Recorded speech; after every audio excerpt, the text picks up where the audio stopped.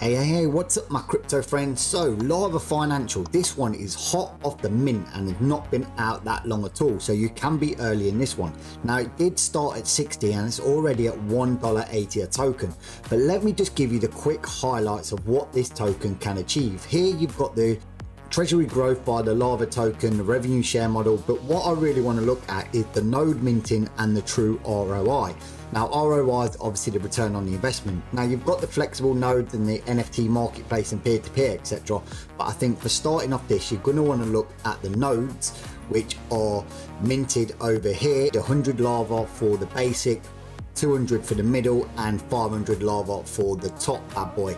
Now do bear in mind you do have to look after these like them old school tamagotchis and give them a monthly fee of 15 20 and 35 dollars. But as the lava token increases you can see the rewards you're getting could go high and high because these are daily and at the moment the token is 180 so yes if you've got lava token and getting early enough the rewards could be really substantial for you.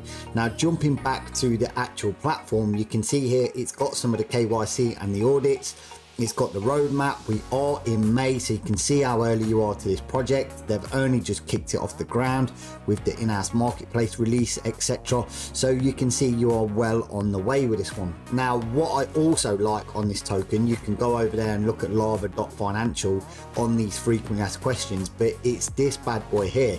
They've got the team there with email addresses. Now, you know, on a lot of these projects, the team hide in the shadows. Now, these are not doing that. They're putting the face to the project. So this to me looks like they want this to be sustainable. And if we go back over here to the nodes and also over to the true ROI, if you look at their medium, you can see here that they want this to be sustainable. Get into this one early if you can. You'll see I've got no referral codes, I'm not shilling this, I'm not associated with a project, I just want to get into this early. Now I have brought a node myself, I've gone all out on this one just to test it. I have gone into this Nova Ruptor and see what I'm gonna get back from that. But as always, go over there and do your own